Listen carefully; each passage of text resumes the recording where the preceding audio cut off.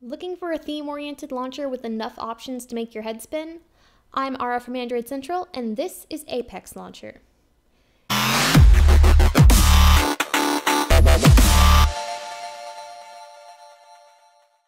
Apex Launcher, another long standing Android launcher, is quite similar to Nova, but they vary in a few key ways, and most of them revolve around theming.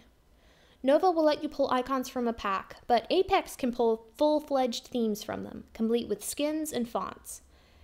Apex will even let you mix and match elements between theme packs.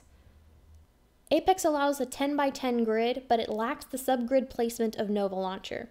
Apex Pro does allow you to overlap widgets at least. The app drawer is also highly customizable, including the ability to choose between vertical and horizontal lists. Backups in Apex also stand out, allowing you to back up your Apex settings and your desktop data separately. This means you can back up and restore your themes without losing any recently changed launcher settings.